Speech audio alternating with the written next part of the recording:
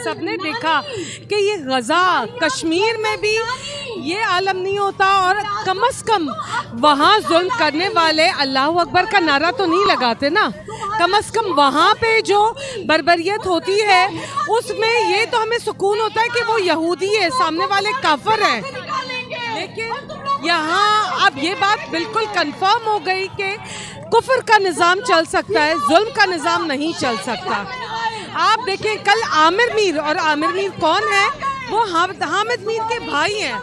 और वो, और आईजी साहब, उन्होंने क्या प्रेस कॉन्फ्रेंस की है? वो फरमा रहे हैं कि भाई, ये तो नो गो एरिया था, इसलिए हर बंदे का घर नो गो एरिया है। आपका घर मेरा घर, तीसरे दूसरे के लिए नो गो एरिया है। तो कैसे किसी के घर में घुस के इन्होंने वो, उनकी अहलिया अकेली, वो बापर्दा औरत थी। और क्या क्या वो कोई दहशत गर्द थे? क्या वो कोई डॉन थे जिसके पीछे सारे शहरों की पुलिस लग गई है? लेकिन साफ़ बता दें, इमरान खान भी ये बोल चुके हैं कि अब हमारा फाइनल राउंड शुरू है। ये समझते हैं कि हाथ में गोली, बम उठाना मुश्किल काम है। वो बड़ा ही आसान काम है। वो सबसे आसान काम है। मुश्किल उस सबर के साथ चलना है, जिस सबर से हम चल रहे हैं, जिस सबर से इमरान खान का मुजाहरा कर रहे हैं। आप देखें, हर इदारा हर इदारा उनके खिलाफ अब तो इंटरनेशनल मीडिया भी बोल पड़ा है। तो आप लोगों से, अब हम सबसे गुजारिश करेंगे कि हमारे लिए निकले। आप देखें, आप इसको दिखाएँ। ये हमारे एमपी हैं अरसलान घुमन इनको आठ दिन पहले बिला जवाज इनकी गिरफ्तारी अमल में लाई गई और इन पे इनको रिमांड पे लिया हुआ है। किस किस एफआईआर के तहत इनसे किसी को मिलने नहीं दिया जा रहा।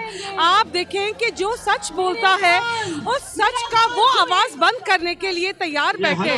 और ये सब एक खातून ये सब एक खातून के कहने पर हो रहा है एक खातून के कहने पर हो रहा है ये इस्टेब्लिशमेंट को हम बताना चाहते हैं कि खुदारा होश के नाखून ले। अब होश के नाखून ले वरना ये मुल्क तबाह बर्बाद सियासत रियासत होगी तो सियासत होगी। जब रियासत ही नहीं होगी तो सियासत कहाँ से आएगी? और फिर इन एक्चुअली इन लोगों को डर है कि हमारे इमरान खान दो तिहाई अक्सरियत से उनको तो आना ही आना है। अब आप देखें, हर बंदा, हर माँ, हर बेटी, हर बहन ये बोल रही है, हर हर एक के दिल में, हर एक के मुँह पे इमरान खान है। हम लेके रहेंगे।